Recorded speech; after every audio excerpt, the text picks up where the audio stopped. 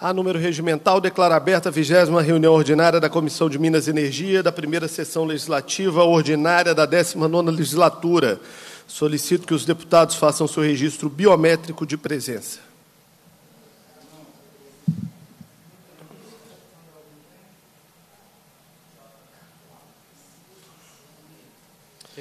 Nos termos do parágrafo 1 do artigo 132 do Regimento Interno, dispenso a leitura da ata da reunião anterior, a considero aprovada, solicito sua subscrição. Finalidade da reunião: essa reunião se destina a receber, discutir e votar proposições da comissão. Passa-se a terceira fase da ordem do dia, que compreende o recebimento, a discussão e a votação de proposição da comissão. Sobre a mesa, requerimento não tem requerimento? Não, não tá, vai fazer oral? É, deputado, parece que está com ele aqui para apresentar. É, indago aos deputados e aos deputados se a matéria ser apresentada nesta fase. Sim, senhor presidente. Com a palavra, o deputado Ulisses Gomes. Senhor presidente, o deputado que a subscreve requer de Vossa Excelência, nos termos do artigo 100 do regimento, que seja realizada a audiência pública de convidados para debater com a presença do vice-presidente do Tribunal de Contas, doutor José Alves Viana, conselheiro relator do processo número 1040-662, que determina a diligência a fim de proceder o controle externo dos procedimentos que o Estado de Minas Gerais já está adotando para antecipação de recursos de nióbio e venda da Codemig, para informar a esta Casa sobre as respostas aos questionamentos e documentação requerida no referido processo, fundamentais para subsidiar a tramitação do projeto de lei 1205-2009. Em discussão, o projeto, o requerimento. Em votação, deputados que aprovam permaneçam como se encontram. Aprovado. Mais um, presidente. Com a palavra, o deputado Ulisses Gomes para apresentar requerimento. Senhor presidente, da mesma forma, o deputado que a subscreve requer de Vossa Excelência que seja encaminhado solicitação de informações ao secretário de Estado de Governo, secretário de Planejamento e advogado-geral do Estado para que informe a esta casa, diante desta comissão, as informações encaminhadas ao Tribunal de Contas referente aos questionamentos que o próprio tribunal, através do conselheiro José Alves Vianas, encaminhou ao governo do Estado através da representação número 1040-662 dos oito questionamentos solicitando fluxo de caixa futuro dos recebidos da Codemig, descrição de estruturação da operação de cessão de direitos creditórios, descrição eventual de serviços de contratação, estudo que demonstre a taxa esperada de captação de recursos, o estudo que demonstre quais os reflexos que a operação de cessão de direitos creditórios gerará para o valor da pandemia, estudo que demonstre os impactos de operação para os resultados financeiros da Codenge e o relatório diligente da operação e descrição dos procedimentos contábeis e orçamentários que serão adotados pelo governo para o recebimento do Tesouro do Estado dos recursos oriundos da Codemic. Em discussão, deputados que aprovam permaneçam como se encontram. Aprovado. Senhor presidente, só para declaração, eu queria agradecer primeiramente Vossas Excelências pela participação e aprovação desses requerimentos. Nós encaminhamos os mesmos também é, via plenário, com apoio de outros deputados, mas é, comunicar que nós tivemos em conversa no Tribunal de Contas, assim como com o próprio conselheiro é, Dr. Viana, que recebeu essas informações do governo, dadas como sigilosas, todas elas.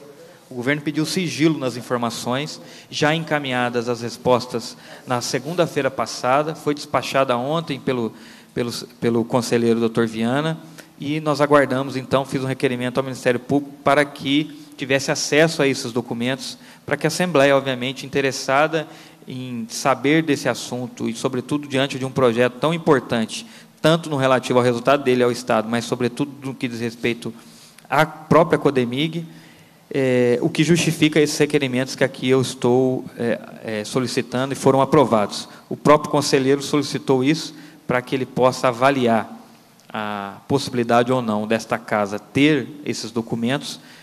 Nós então estamos, acabamos de aprovar esses requerimentos para que o conselheiro possa ou informar essa casa ou que o governo diretamente informe essa casa porque muito me estranha.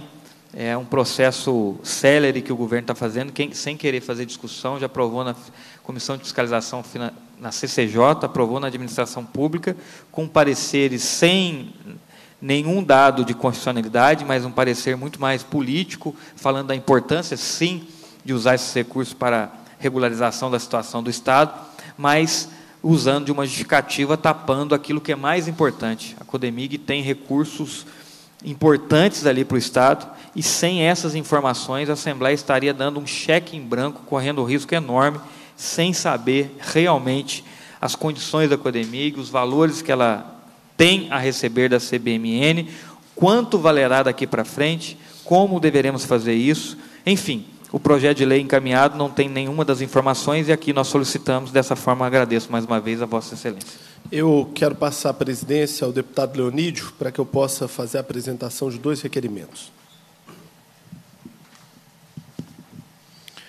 Já assumindo a presidência, encaminho a palavra ao deputado João Vitor Xavier. Senhor presidente, queria apresentar um requerimento de pedido de informação é, para que o governo do Estado de Minas Gerais nos apresente um balanço é, de tudo aquilo que está sendo pago pela Vale do Rio Doce, de contrapartida e também é, pelas empresas parceiras da Vale, de contrapartida pelos desastres e crimes ambientais de Brumadinho e de Mariana. Eu recebi um contato do prefeito de Mariana e muito me assustou o que ele me falou é, o governo do estado tinha que ter repassado 150 milhões de reais para a cidade de Mariana. A cidade de Mariana não recebeu até o momento nenhum centavo. Já estão reabrindo a Samarco, mas Mariana não recebeu um real. A população é, de Bento Rodrigues e dos, dos outros vilarejos é, do entorno, essa população até hoje não foi recolocada no seu lugar. A cidade continua sem receber aquilo que lhe é de direito. E o mesmo eu escuto de todos os prefeitos à margem do Rio Doce. Prefeito e governador Valadares, por exemplo, esteve comigo recentemente e me disse que até hoje a cidade não foi indenizada dos prejuízos que teve quando da ruptura da barragem de Mariana. Então, eu gostaria que o governo do Estado nos apresentasse um balanço detalhado de tudo aquilo que tem sido pago, ações como, por exemplo, a, a, as que apresentaram outro dia, porque a Vale vem falar que está doando carros para o Estado. Na verdade, não está doando, né? Está devolvendo os carros que foram destruídos de patrimônio do Estado para recolher corpos, é, vítimas, né, pessoas na tragédia, porque a Vale não tinha estrutura de atendimento. Então, o Estado que teve que ir lá e gastou uma fortuna para atender o nosso povo, porque a Vale assim não fez. Então, nós temos que desmistificar esse papo de que a Vale é, é, recuperou o IML, a Vale doou carro, a Vale, a Vale nada mais está fazendo do que pagando aquilo que deve para o Estado. Só que isso está sendo feito com muito pouca transparência estão usando isso muito mais para fazer uma propaganda positiva da Vale do que uma prestação de contas, sem contar outras coisas, deputado Leonídio. Outro dia eu ouvi do secretário de Segurança que eles vão construir presídio lá em Lavras com o dinheiro da indenização da Vale do que aconteceu aqui. Espera aí, as cidades mineradoras e os nossos municípios mineradores? Ouro Preto, Mariana, Itabirito, Caeté, Sabará, Barão de Cocais, Brumadinho, Itabira. Onde é que ficam esses municípios? É justo que as indenizações da Vale vão para todos os cantos do estado e que a região que é a mais afetada fique abandonada? Nós estamos cheios de estradas abandonadas, obras abandonadas, como por exemplo a obra da estrada Caeté Barão de Cocais a obra da estrada Nova Lima Sabará, a obra é, da estrada que passa por Brumadinho até Casa Branca, que são estradas importantes que precisam ser feitas e que o Estado não está fazendo por dinheiro, por falta de dinheiro. Aí o dinheiro das mineradoras que impactam esse município está sendo tirado aqui para levar lá palavras, para construir presídio ainda. Né? Se fosse para levar uma coisa boa para o povo de Lavras, a gente Podia pensar em discutir, mas, mas para levar um presídio para lá.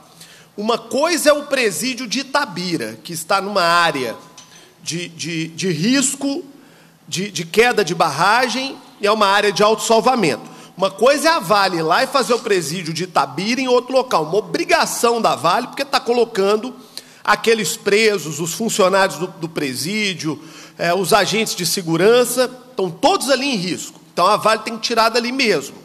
Então, essa é uma obrigação da Vale de resolver. Outra coisa é criar um discurso de que o dinheiro do impacto nos municípios aqui atingidos pela mineração tem que ser tirado daqui para levar para outra região do estado. Isso eu não vou concordar e vou me manifestar aqui.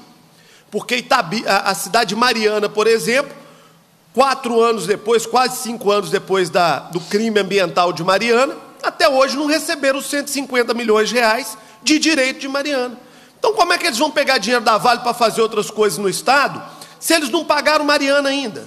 Então, paguem primeiro Mariana, paguem Brumadinho, depois vamos discutir outras coisas.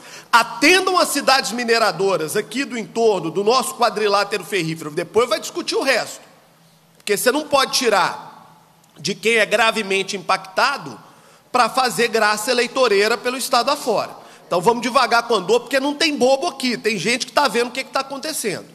Então, eu queria apresentar esse requerimento, presidente, pedindo é, uma informação detalhada de como está sendo aplicado esse dinheiro das multas ambientais, das contrapartidas que a Vale tem pelos dois crimes ambientais, o de Brumadinho, o de Mariana e também é, das outras barragens que foram interditadas e que ela também foi multada. Antes de colocar em votação, eu também gostaria de manifestar em relação a isso até porque Minas precisa de ser repensada. Nós estamos vivendo o pior dos mundos em Minas Gerais. Nós estamos vendo aí a questão do pré-sal, o Rio de Janeiro recebendo bilhões a mais do que os outros estados, porque tem o petróleo, que está numa área, inclusive, que é no mar, não é nem no, no território do Rio de Janeiro, no território terrestre. Nós temos aí o Rio de Janeiro, ele vai sair dessa crise que está muito mais rápido que Minas Gerais. Por quê? Porque recebe recursos, lá existe uma bancada muito forte. A nossa bancada é de 53 deputados. A bancada do Rio de Janeiro é de 52, mas parece que eles têm 100, porque eles conseguem tudo. Nós precisamos, inclusive, deputado João Vitor Xavier, deputado Ulisses Gomes, de chamar os nossos deputados federais que eles não são culpados, os atuais, isso vem de muito tempo, mas hoje o presidente é, Bolsonaro é do Rio de Janeiro.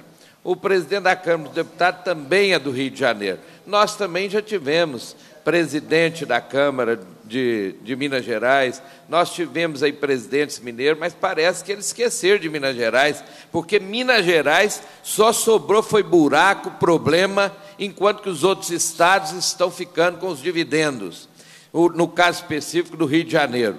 Veja, por exemplo, a questão também da VLI, que nós estamos vendo, vendo, assistindo o dinheiro que está sendo feita a renovação da concessão da Ferrovia Vitória Minas. Esse recurso está sendo utilizado para construir ferrovia lá em Goiás e Mato Grosso. É a mesma coisa que você está dizendo aqui, que a Vale vai usar recursos que deveriam ser usados para melhorar e tirar das condições foi feito com o desabamento de, de, em Mariana e também agora em Brumadinho, ao invés de estar preocupada em fazer grandes investimentos nesses locais, nós estamos levando investimentos para outras áreas. Então, é preciso repensar isso, é preciso chamar os governos à sua obrigação com Minas Gerais e, mais especificamente, com esses municípios que têm dado só lágrimas, suor e nada de recursos de dividendos. Então, eu voto em caminho favorável e coloco em votação, então, o requerimento do deputado é, João Vitor Xavier. Em votação, requerimento. Senhores deputados que aprovam, permaneçam como se encontram. Aprovado. E devolvo a presidência para o deputado ainda João Vitor. Xavier. tem mais um, presidente? Ainda Aliás, tem mais um então, requerimento me desculpe, apresentar? volto, continuo com a presidência, com a palavra do deputado João Vitor Xavier para apresentação de outro requerimento. O segundo requerimento, senhor presidente, é para que façamos aqui, nessa casa, uma audiência pública para discutir esse assunto, a aplicação dos recursos oriundos das multas e, e das contrapartidas que a Vale a Samarco e as empresas mineradoras devem para os municípios mineradores e para o Estado para discutir como esses recursos têm sido aplicados. Vamos convidar a MIG, vamos convidar os municípios mineradores, porque eu quero que o governo do Estado nos explique aqui qual que é o seu critério para o investimento desse recurso, porque os municípios estão morrendo à míngua, enquanto o Estado já está pensando em fazer política Estado afora com o dinheiro que é nosso, dos municípios mineradores. Em votação, o requerimento apresentado pelo deputado João Vitor Xavier. Senhores deputados, com a própria, permaneçam como se encontram. Aprovado. Agora sim, com a palavra, devolvo a palavra, aliás, a presidência ao deputado João Vitor Xavier. Muito obrigado, deputado Leonídio. Eu abro a palavra ao deputado Ulisses Gomes para apresentação de requerimento. Senhor presidente, solicita também a Vossa Excelência que seja encaminhado ao vice-presidente do Tribunal de Contas, doutor José Alves Viana, pedido de informações sobre a representação número 1040-662, na qual se requer a determinação de diligência a fim de proceder o controle externo dos procedimentos que o Estado de Minas Gerais já está adotando para antecipação dos recursos do Nióbio e venda da Codemig, com envio a esta casa das respostas aos questionamentos e documentação requerida nos itens 1 a 8 relacionados no documento em anexo, fundamentais para subsidiar a tramitação do projeto de lei 1205. Em discussão, requerimento do deputado Ulisses Gomes. Em votação, deputados que aprovam permaneçam como se encontram. Aprovado. Indago aos deputados e às deputadas se ainda há alguma matéria a ser apresentada. Não havendo cumprida a finalidade da reunião, a presidência agradece a presença dos parlamentares, convoca os membros para a próxima reunião ordinária, determina a lavratura da ata e encerra os trabalhos.